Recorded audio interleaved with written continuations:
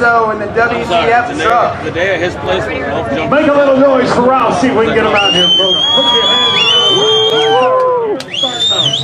Hey, Ralph's coming out. Good freaking partnership, boys.